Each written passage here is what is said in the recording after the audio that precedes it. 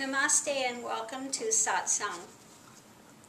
When defining what is meant by ego on this path, Guruji has frequently distinguished between ego and egotistical behavior.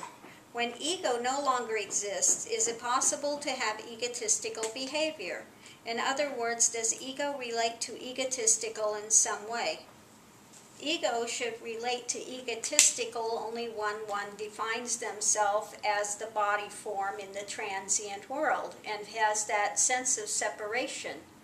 When that falls, there shouldn't be any type of an egotistical thing in place. It just will be the natural flow and outcome of situations at hand. Okay, so I just keep it short at that. Um, of course, there will be a lot of judgments on actions. If something is done which you don't agree with, you'll see it as egotistical. you know? So what can be said on that? I guess egotistical as many times in the eyes of the beholder from your point of view as to what it is and what it's not. Okay? I, I spend a lot of time in front of a computer how would be the best way to put the practices into place when using a, a computer and use this time for making progress? How do you, Guruji, use the computer? Do you multitask, for instance? Try not to do any multitasking, you know, doing more one thing at a time. And uh, when you're using computer, again, uh, take a break every now and then. Just look up and just be in the moment. Take a breath, do the balanced breath as much as possible, and trying to keep your focus steady in one direction rather than being scattered. You know, one thing at a time to the best of your ability without being scattered. Okay? Is it important to spend time in nature? Is being in nature necessary to make progress in a spiritual path? Well, spending time in nature, many times you're more in the moment than caught up in some some other thing that you've got to be doing. So it's important to have time of relaxation and to just again, Om that I am, Om that I am. You know, it's very effective when being done in nature. So I would say that nature, being time in nature, is a pretty important part of the path. Of course, you don't have to go out in the woods to spend time in nature. You could actually just go to where there's a park bench, or even if you're sitting there looking up at the sky or a tree. Uh, at that point, you can be in nature if your attention is not on all the other hubbub that's going around. So one can also always find time for nature. It's all around you every day. So I don't think that there's anyone that can't find some time for nature. Okay? What is the wheel of karma? Why is karma referred to as a wheel? What drives the wheel? Okay. The wheel of karma are the actions that come back uh, on you as a point of from actions you've done in the past. You're going to re reap other actions that are going to happen in the future. You're going to reap different events that happen in the future. Okay, if you steal something, the karmic reaction is you're going to go to jail. Okay, that's what happens. You know, if you do something foolish, I mean, you're going to reap the, the reactions and the karma of that. Uh, nobody gets out of anything. The universe will bring something back in a way to show you a lesson, and you either get it or you don't, and you'll continue to develop the same types of patterns. Karmic patterns and wheels keep spinning, and the same drama and patterns keep playing out, you know, until eventually you get it. So, what drives the wheel? The mind, your conditioning, the knee jerk reactions the actions that you do, that's what drives the wheel. That's what keeps it in motion. Okay? All of the uh, grasping at something or the pushing away, rejection of something, again, there is no uh, surrender into that moment. One is attempting to control it in some way or a manner, and that again keeps the wheel in motion.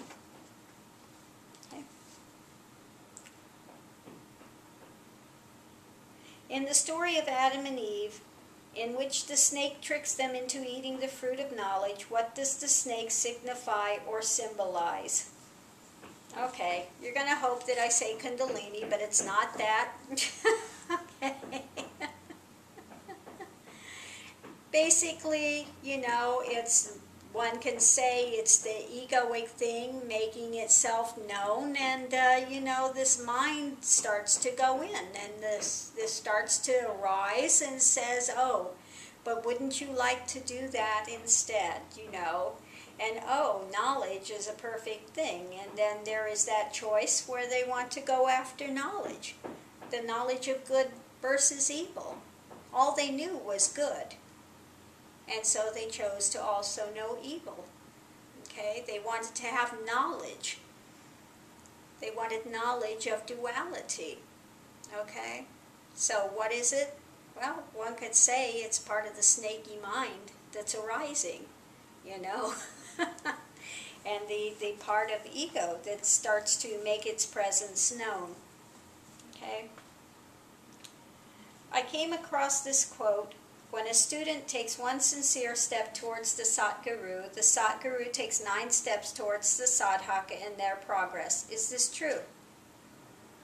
If one sees that the student is sincere and they're actually surrendered and they're going according to what's being given, yes, of course. You're going to give everything that you can to aid that student.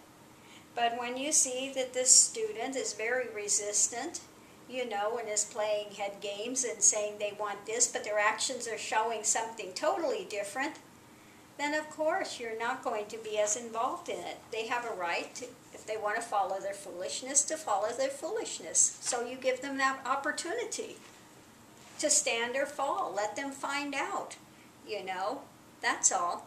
So yes, it's true. If the student takes those steps and is sincere and is genuinely, you know, trying to surrender and genuinely going forward on their paths, then yes, of course, the Satguru will continue to try to give as much direction and guidance as is possible. Sometimes mind can be very busy during sleep, a lot more so than in waking state. Is Kundalini clearing house as I sleep, or is there another explanation?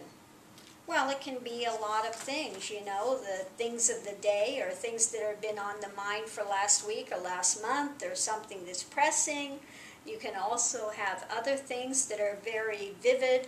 Um, you can have uh, past life types of things that come up. All, all sorts of manner of things can arise in dream states. It's not just one classification that one can put on it. So um, a busy mind during sleep. Um, it, in some things it can be clearing and uh, it doesn't stop, Kundalini doesn't stop bringing stuff up to be seen.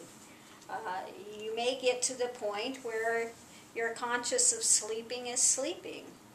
You know, you may be conscious of, of breathing, snoring, whatever, and, and quite surprise yourself that you're asleep and yet aware of it as it's happening. Okay? So, uh, don't be surprised at what happens during sleep. A lot of things will arise, and uh, it just is continuing the journey. That's all.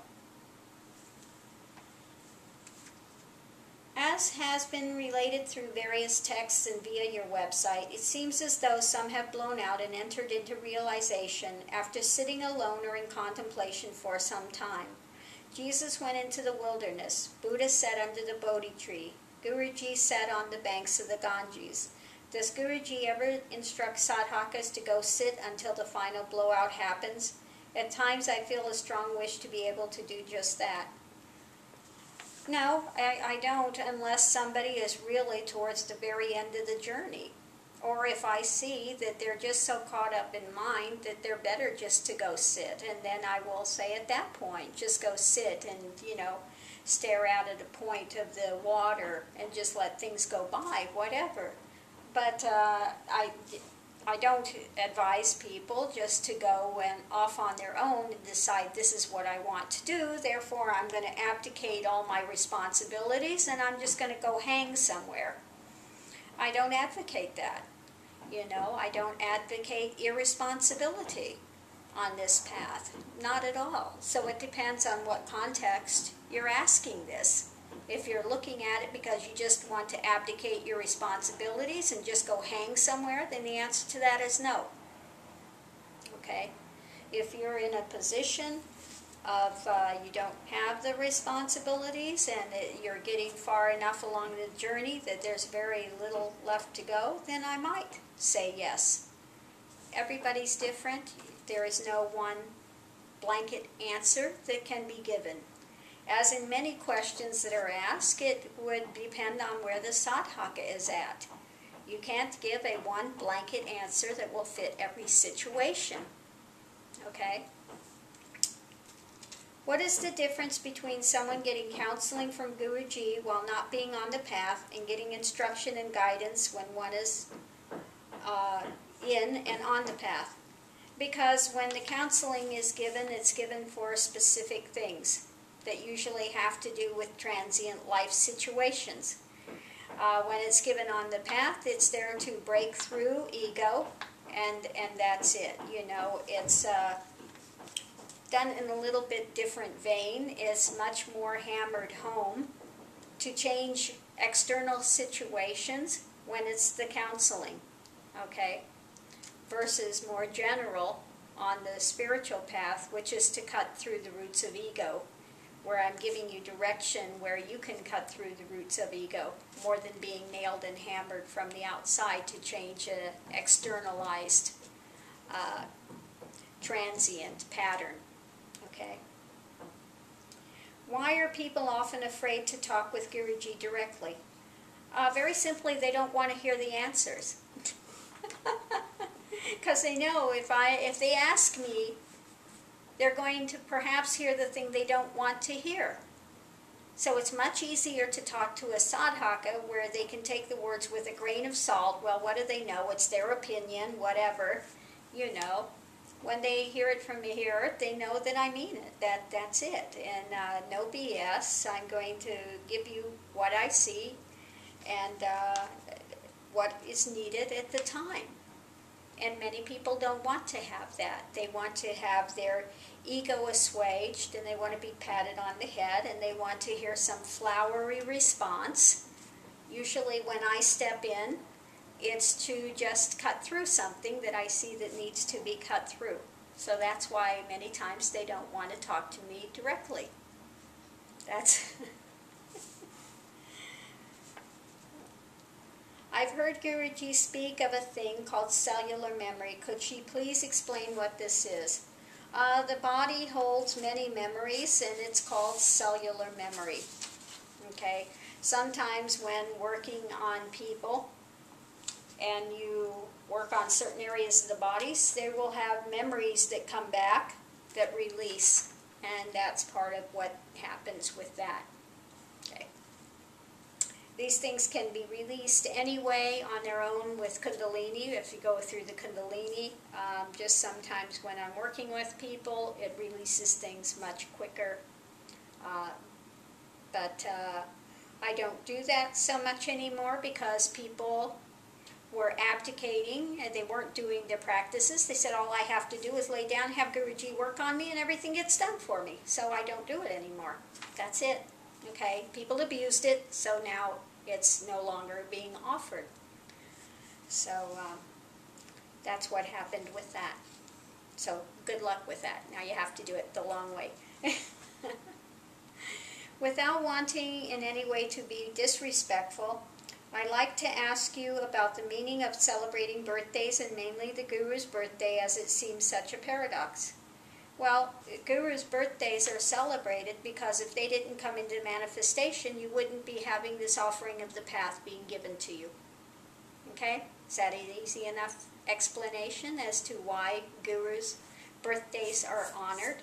Because if that form hadn't come into being to carry that consciousness, you wouldn't be able to speak with me now. Okay? And you'd be on your own. End of mystery. So that's why it's honored. It's, uh, it's just respect that the Guru has come into existence, came into a form took the time to go through the path and uh, spent the rest of their time in form to offer this to others. So you don't have to do it so much hard on your own. And especially when the guru happens to be the head of a path that's brought something new into, you know, is the head of a spiritual path and has brought in lots of new techniques and new dynamics in order to aid humanity, then even more so, that's to be respected. Why do they, uh, why do they celebrate Buddha's birth? Okay, why do they do that?